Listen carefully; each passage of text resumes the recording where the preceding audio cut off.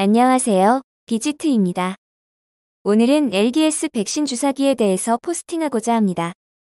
새로운 중소기업부 장관이 밝힌 백신 주사기는 한국 중소기업의 의지, 삼성의 기술, 정부의 지원 삼박자 결정체라는 이야기는 정말 의미심장합니다.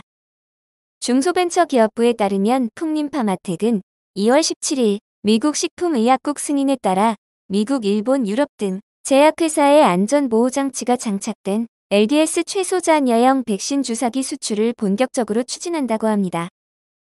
3월 중 신공장에 월 1000만 개 생산 체계를 추가 구축해 월 2천만 개 이상 생산 수출 계획이며 국내화이자 백신 접종에 맞춰 12만 7천 개의 최소잔 여형 백신 주사기를 무료 기부 예정이라고 하네요.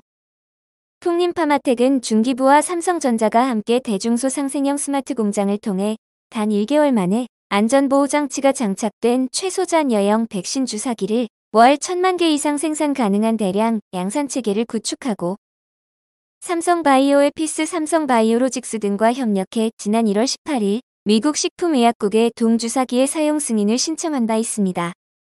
풍림파마텍은 미국에서 1억 8천만 개, 일본에서 약 8천만 개 등 각국 제약회사로부터 LDS 백신 주사기 공급 문의가 쇄도하고 있다면서 현재 건립 중인 제3공장에도 월 1000만 개 이상의 LDS 백신 주사기 스마트 공장 생산 체계를 추가로 구축해 월 2천만 개 이상의 세계 최대 규모의 LDS 백신 주사기 공급 체계를 갖출 계획입니다.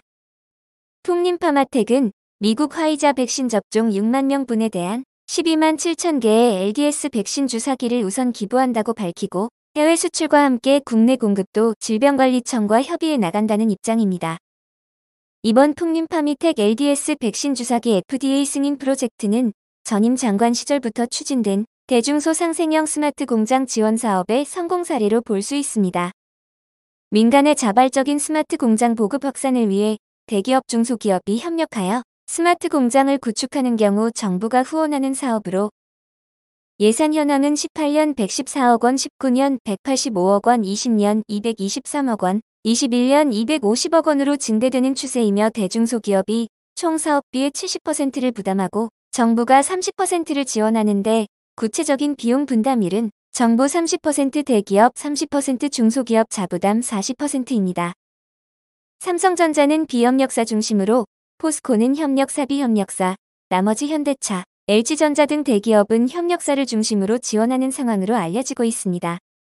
통림파마텍은 삼성전자의 구미, 광주협력사 공장을 통해 시제품 금형 제작 및 제품 생산을 지난 연말 연휴 기간 중 4일 만에 완료할 수 있었고 삼성전자는 주사기 자동 조립, 설비 제작 지원 등을 통해 통림파마텍의 자체 생산 계획 월 400만 개, 대비 2.5배인 월 1000만 개 이상 대량 생산이 가능하도록 지원한 것이 이번 지원 사업의 핵심이라고 보여진다라고 중소벤처기업부에서 이야기하고 있습니다.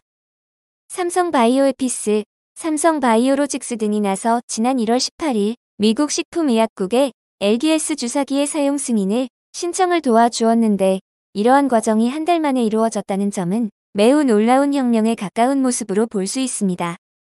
이러한 3자 협업 모델은 앞으로 중소기업이 살아남을 수 있는 유일한 전략으로 볼 수 있습니다. 특히 인공지능, 바이오헬스, 자율주행차 부분은 중소기업이 진출하기에는 거의 불가능한 모델이자 대기업 역시 단독으로 모든 것을 할 수는 없기 때문입니다. 그러기에 정부는 이러한 대기업과 중소기업의 합작 프로젝트에 대해서 코디네이터 역할을 해주어야 하는 것이 코로나 팬데믹 이후에 미래 정부가 해야 할 우선 정책입니다. 비지트는 2018년 AI 로봇 소피아가 한국에 왔었을 때 박영선 의원실 주최와 지능정보산업협회의 후원으로 소피아를 직접 목격할 수 있었고 인공지능의 미래에 대해서 예측 가능한 소중한 계기가 되었던 것이 사실입니다. 그때만 하더라도 인공지능이 지금처럼 우리의 일상에 파고들지는 않았고 4차 산업혁명에 대한 여러 가지 사회적 붐이 막 일어났던 시기입니다. 이번 백신 주사기 역시 smart factory에는 데이터 기반 예측 모델링과 AI 기반 공정과정 통제 시스템은 필수입니다. 이러한 부분을 중소기업에서는 도저히 할수 없기에 삼성전자의 기술 지원과 중소벤처기업부의 정책 및 행정 도움 그리고 중소기업의 경험 3박자가 제대로 들어맞아 부가가치가 나온 사업으로 볼 수 있습니다. 코로나 팬데믹에서 정부의 역할은 대기업과 중소기업이 인공지능, 빅데이터, 바이오 기술 등의 새로운 부가가치를 만들 때 두 기업이 최대한 시너지를 낼 수 있도록 정책적인 부문에서 여러 가지 support를 해주는 것이라고 이번 LDS 백신 주사기 미국 FDA 승인 및 대량 생산 소식에서 알려주고 있습니다.